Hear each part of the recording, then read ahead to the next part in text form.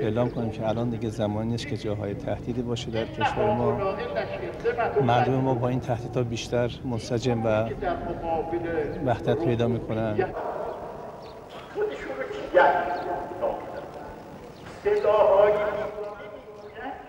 به نظر من تهدیدات بوش تو خالی است به خاطر اینکه واقعیت این هست که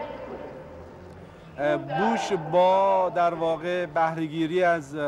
دو سه تا جنگی که در یک دهه اخیر در واقع او کنترل کرده به نوعی خودش رو از جهات دیگه به ویژه در بود نظامی او صرفا می‌خواد از این حربه در واقع مخالفین خودش رو سرکوب بکنه و ما معتقدیم که هرگز او به این تفکر و این خاصه خودش نخواهد رسید انشالله شاه را خرید شارون جنایت بی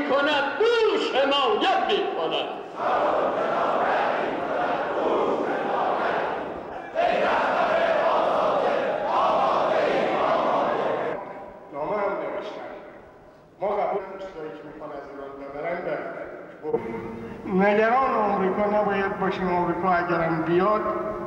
اونچنان تو این باطلاق گیر خواهد کرد که دیگه بیرون رفتنش با خودش نیست آمد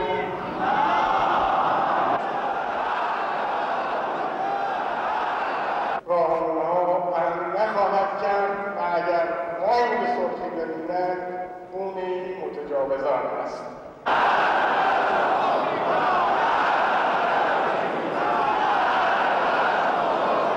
همه این دوره ها رو گذروندن بعد از این دوره ها یک تهاجم جدید شروع کردن یه شبکه برای خودشون در داخل و خارج درست کردن به هم مربوط. می‌بینید شما انقلاب مزده خرداد رو ببینید. طرح احتمالی رژیم شاه و غربی ها این بود که ها اینقدر داغ شد که آمریکا رسما آمد به سکوهای نفتی ما حمله کرد کشتی جنگی ما رو ما